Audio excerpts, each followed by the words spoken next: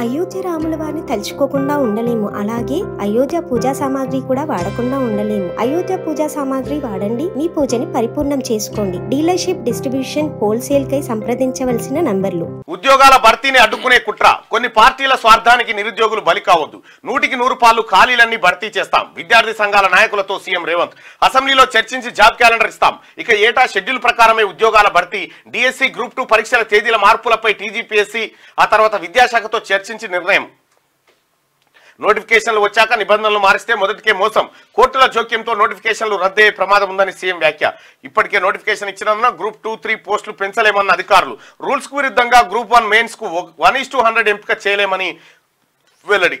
కనీసం సరే విద్యార్థులు కొంతమంది ఆందోళన చేస్తూ ఉన్నారు కొంతమంది పోస్ట్ పోన్ అడుగుతా ఉన్నారు కొంతమంది పోస్టులు పెంచమంటా ఉన్నారు. కనీసం డిఎస్సి వాయిదాయాలని ఇట్లా రకరకాల డిమాండ్లు ప్రజల నుంచి వచ్చినాయి. ఎస్ ప్రజల నుంచి డిమాండ్ వచ్చినప్పుడు బాధ్యత గల ముఖ్యమంత్రిగా ఏమేం చేయగలుగుతామో ఆయన మీడియాకు వివరించిండు. ఎన్నడన్నా కేసీఆర్ జీవితంలో ఇటువంటి ప్రకటన ఒకటని చేసిండా? మాట్లాడండి. కనీసం ఇక్కడ చూడ్రి. రాష్ట్రంలో ప్రభుత్వ ఉద్యోగాల భర్తీని అడ్డుకునేందుకు కుట్ర జరుగుతుందని సీఎం రేవంత్ రెడ్డి అన్నారు. కొన్ని రాజకీయ పార్టీలు ఇక్కడ వరకు చూద్దాం.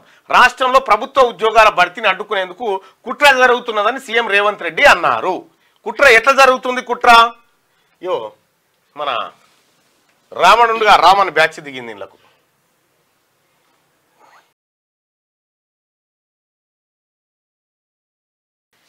ఇగో ఈడ కేటీఆర్ తోని టీఆర్ కాడ కూర్చొని ఫోటోలు దిగిన ఈ ముందుగా నవంబర్ ఇరవై మూడు రెండు వేల ఇరవై మూడులో ఫోటో దిగింది. మళ్ళీ నిన్న ఉద్యోగాల కోసం ఆమెనే దిగింది చూడు ఇగో.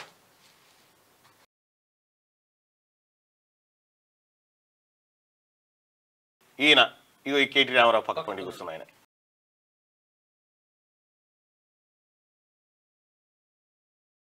ఇగో ఈమె ఇగో ఈమె ఈమె.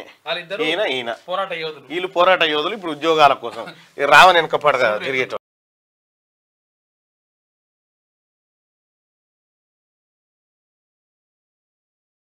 ఇగో ఈమె. ఇట్లా కేటీ రామారావు దండు ముఠ. నిరుద్యోగుల రూపంలో దిగి తెలంగాణ ప్రభుత్వాన్ని బదనాం చేసి ఉద్యోగాలు భర్తీ కాకుండా అడ్డుకోవడానికి ఈ ముఠా ఆడుతున్నటువంటి డ్రామా ఇది వెలుగులోకి వచ్చింది. నిరుద్యోగుల ముసుగులో కేటీఆర్ టీం అది. ఇది. పంపిండు. దొరికిపోయారు. ఇది ఇక్కడ వరకు ఉంటే కొన్ని రాజకీయ పార్టీలు స్వార్థపూరిత శక్తుల కుట్రలకు బలి కావద్దని నిరుద్యోగులకు ఆయన సూచించారు. ఉద్యోగాల భర్తీ విషయంలో రాష్ట్ర ప్రభుత్వం కృతనిశ్చయంతో ఉన్నదని నూటికి నూరు పాలు నిరుద్యోగులకు మేలు జరిగే నిర్ణయాలు తీసుకుంటుందని చెప్పారు. గత ప్రభుత్వం మాదిరి తప్పుడు నిర్ణయాలు తీసుకోబోమని నిరుద్యోగులకు అన్యాయం చేయబోమని అన్నారు. ఉద్యోగాల భర్తీకి నోటిఫికేషన్లు ఇచ్చాక నిబంధనలు మారిస్తే మొదటికే మోసం వస్తుందని కోర్టుల జోక్యంతో నోటిఫికేషన్లు రద్దయ్యే ప్రమాదం ఉందని పేర్కొన్నారు. నిరుద్యోగుల ఆందోళన దృష్ట్యా శుక్రవారం హైదరాబాద్లోని తన నివాసంలో సీఎం రేవంత్ రెడ్డి ఉన్నత స్థాయి సమీక్షా సమావేశం నిర్వహించారు. ఇందులో విద్యార్థి సంఘాలు యూత్ కాంగ్రెస్ నాయకులు అధికారులు పాల్గొన్నారు. దాదాపు మూడు గంటల పాటు జరిగిన ఈ సమావేశంలో నిరుద్యోగులకు సంబంధించిన డిమాండ్లు జరుగుతున్న ఆందోళన గురించి సీఎం రేవంత్ రెడ్డి అడిగి తెలుసుకున్నారు.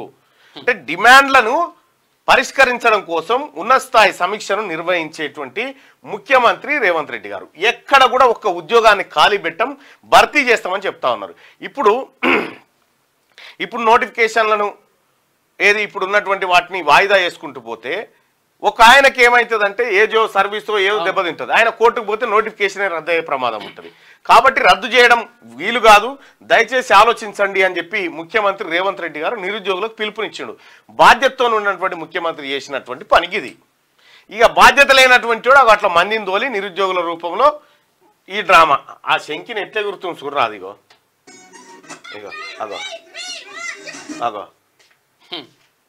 ఆగుతలేదు. భలే తయారు చేసిన రామ.